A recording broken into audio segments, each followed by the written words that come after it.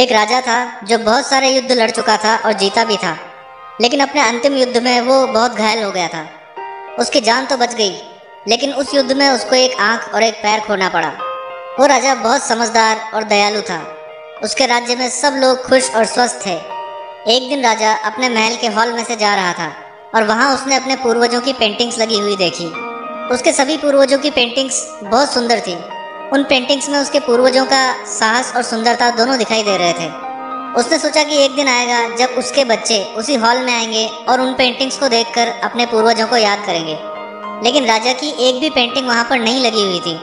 राजा को पता नहीं था कि उसकी पेंटिंग कैसी बनेगी, क्योंकि उसकी एक आँख और एक पैर नहीं था। राजा ने एक दिन अपने राज्य के सभी फ़ेमस पेंटर्स को बुलवाया। उसने सबको कहा कि वो अपनी एक सुंदर पेंटिंग बनवाना चाहता है, जिसको महल में लगाया जाएगा। जो भी पेंटर ऐसा कर सकता है, वो सामने आए। उसको जैसी पेंटिंग बनेगी, उसके हिसाब से इनाम दिया जाएगा। सारे पेंटर्स ये सोच के परेशान थे कि राजा की सुंदर पेंटिंग कैसे बनाई जा सकती है, क्योंकि उसके एक पैर और एक आँख नहीं है। अगर राजा को पेंटिंग पसंद नहीं आई और वो गुस्सा हो गया तो क्या होगा? ऐसे में राजा मौत की सजा भी दे सकता है। ये सोचकर किसी भी पेंटर ने सामने आने की हिम्मत नहीं की। राजा और उसके मंत्री ऐसे पेंटर का इंतज़ार कर रहे थे जो राजा की अच्छी पेंटिंग बना सके। थोड़ी देर के लिए सब तरफ़ साइलेंस था।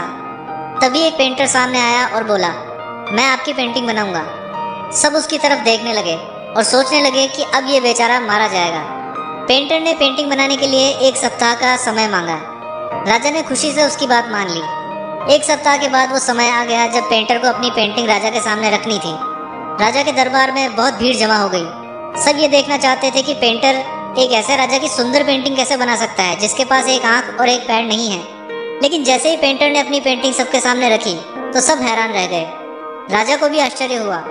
पेंटर ने एक ऐसी पेंटिंग बनाई थी, जिसमें राजा एक घोड़े के ऊपर बैठा हुआ था, जहाँ से उसका एक पैर ही दिख रहा था।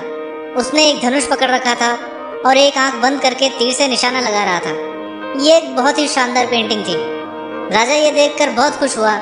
कि पेंटर ने उसकी डिसेबिलिटीज को छुपाते हुए बहुत ही सुंदर पेंटिंग बनाई थी।